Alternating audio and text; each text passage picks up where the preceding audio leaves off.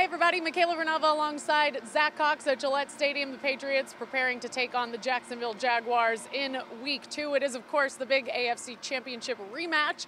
And Zack, I want to get into some players to watch during this game, and starting with the Patriots' own wide receiver, Chris Hogan, who was extremely quiet in week one against the Texans. He was extremely quiet, which was a little bit surprising considering he's he's the, the team's number one wide receiver until Julian Edelman returns from his four week suspension, which won't be for another couple weeks. So the Patriots need more out of Chris Hogan. He only had one catch on five targets against the Texans, 11 yards, really wasn't involved much in the offense at all. Luckily for them, Phillip Dorsett kind of took on that number one role, seven catches on seven targets, 66 yards, one touchdown.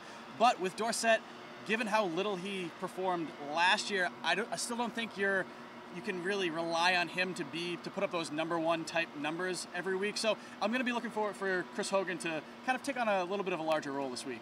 All right. As for Jalen Ramsey, cornerback for the Jags, he sure seems to think he will do a very good job against Rob Gronkowski if he is covering him.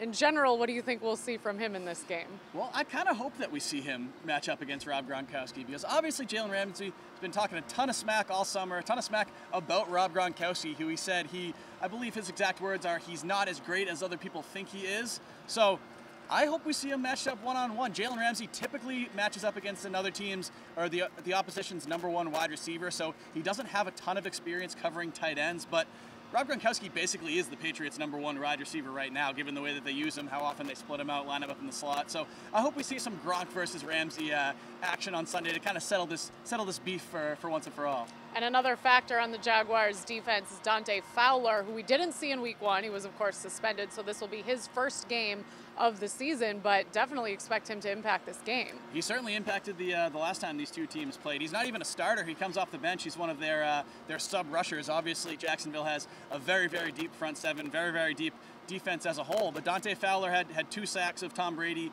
here last year in the AFC Championship game, three quarterback hits.